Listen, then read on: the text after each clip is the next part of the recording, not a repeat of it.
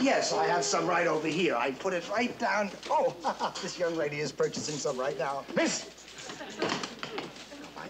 You won't like it. It's poisonous. This stuff is just awful. We're going to remove it from the, uh, from the market. Yeah. Here, have some of that. It's really a lot better. Thank you very much for the tip. How dare you badmouth our food? That happens to be one of our newest items. Yeah? And I just made a deal with the manufacturer who assures me that it's the finest chili on the market. Great, I'll take it. I'll Right. take it all. Here, hold that. I'll take it all you got, huh? You'll love it. You'll come back for more. All right, uh, just check me out.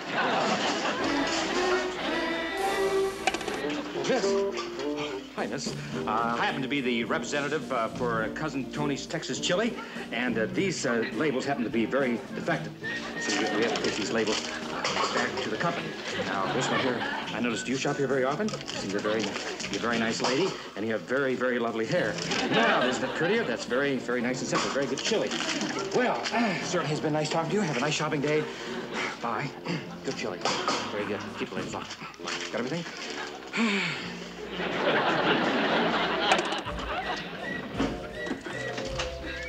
Major Nelson, I...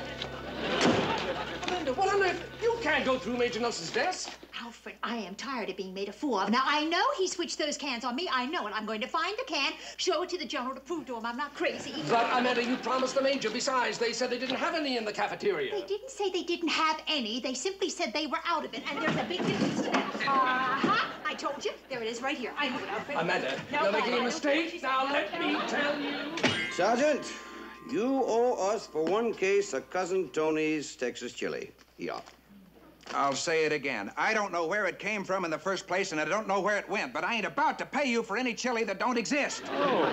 It is a mystery, but luckily there is one case left.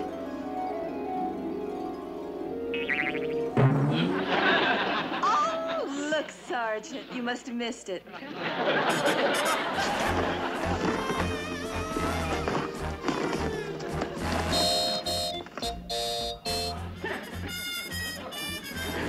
craziest thing I've ever seen.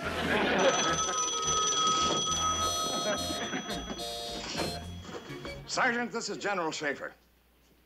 Sergeant, this may sound like an odd question, but do you have any Cousin Tony's Texas chili in the cafeteria? What? You do? Sergeant, bring the case to my office. And the man and woman, too. Yeah, if this is true, Major Nelson is finished. Yeah, well, at least we got him off the shelf, huh? When I find Jeannie, I'll get her to blink the labels off the cans that people are already bought. Oh, Major Nelson. Inside, please. Uh, you have some explaining to do. I was just- Inside, Major. You too, Major Healey. Hi, darling. Sorry, sir. Sorry. I am astounded, Major, particularly after yesterday's conversation. Uh, sir, if you would just give me a chance to explain, I'm sure I can clear this all up. Well, General, uh, the Major did say it was some sort of a joke. A can of chili is a joke, Doctor. A case is a court-martial. A court martial? I do not understand. What about this ring, Arville?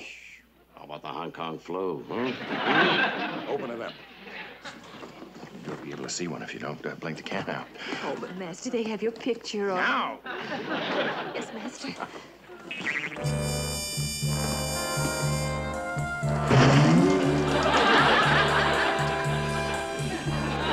what is that? That is the best Texas chili north of the Pecos.